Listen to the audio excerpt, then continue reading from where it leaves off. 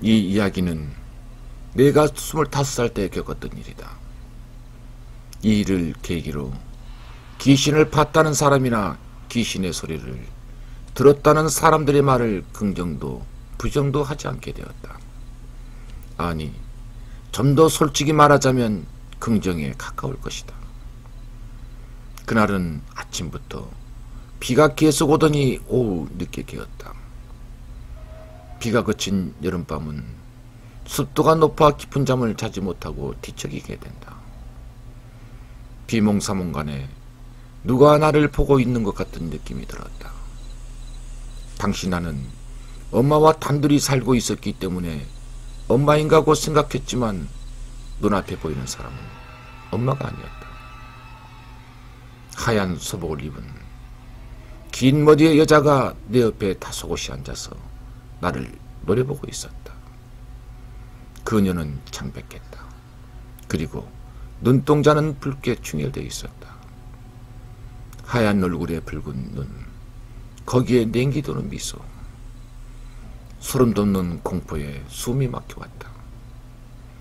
반사적으로 발버둥을 치며 몸을 움직여 상반신을 일으키자 그 여자는 연기처럼 사라지는 것이었다. 이게 뭐지? 내가 지금 뭘 본 거야? 꿈? 현실? 헷갈렸다. 꿈이라고 하기엔 너무 선명했다.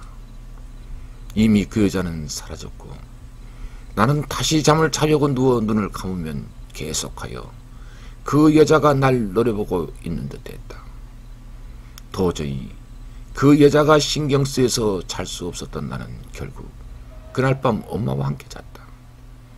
그리고 며칠 후 어느 날 밤 12시쯤 되었을까 갑자기 거실에서 엄마가 나를 부르시는 것이었다. 희수야 어서 나와봐. 나는 잠결에 대답을 하면서 거실로 나갔는데 동시에 엄마도 엄마 방에서 나오시는 것이었다. 그러면서 하시는 말씀에 나는 깜짝 놀랄 수밖에 없었다.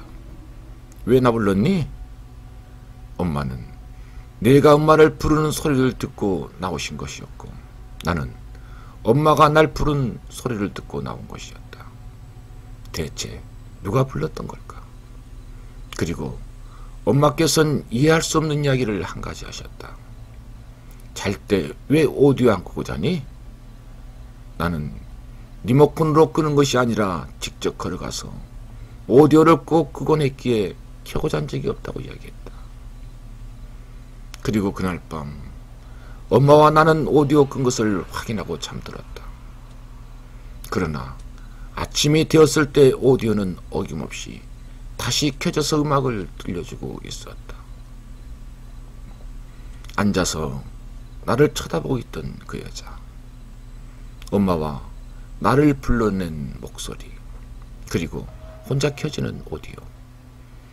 1년은 모든 상황을 종합해 보면 귀신의 지심이 분명했다. 집이 문제였던 것인가? 나는 다음 달부터 집에 관해 조사를 시작했다. 등기비 등본도 떼어보고 집을 짓기 전에 이 터에 무슨 문제가 있었는지 탐문도 해보았다. 그러나 귀신이 나타날 어떤 조짐도 없었다. 그럼 결국 내가 밖에서 묻어온 귀신이란 이야기가 된다. 모르겠다. 어쨌든 엄마에게는 이런 이야기들을 하지 않았다. 나 혼자 기억하면서 가끔 나 혼자 시달리고 있다.